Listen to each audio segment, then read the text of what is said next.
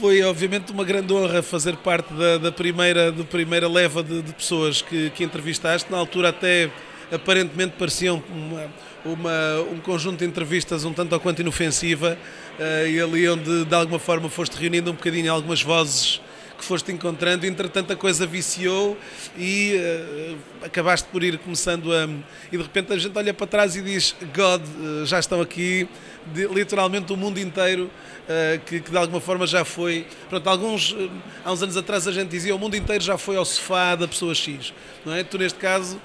Toda a gente, embora tu no, no, nestas entrevistas vais, vais entrevistando pessoas com os diferentes setups e nos diferentes cenários, não é? Uh, que teria... Mas sim, olha, tenho, tenho é, digamos assim, muito agradável ir acompanhando um bocado este teu, esta tua jornada e esta jornada do projeto,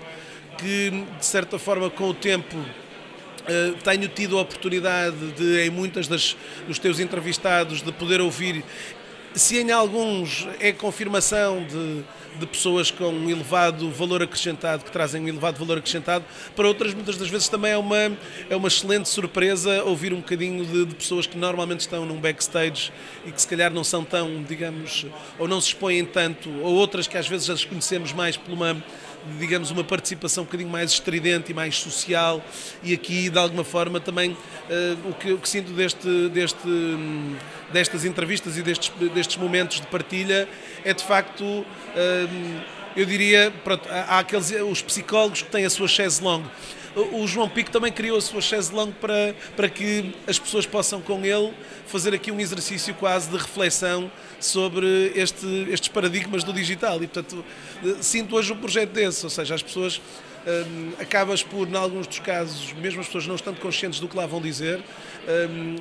preparas a cama de forma a que o povo ali extravasa um bocadinho daquilo que, pronto, aquilo que lhes vai na alma sobre o estado da arte do mundo digital e aquilo que, uh, que de alguma forma é o futuro. Portanto, acaba uh, por ser hoje um, um projeto, eu acho que excelente e que de facto um, não encontra paralelo no contexto aqui, se calhar, de português do, do digital em Portugal, ou seja, teres aqui a verdadeira uh, digamos, o verdadeiro chaise longue, não do, do psicólogo, mas do João.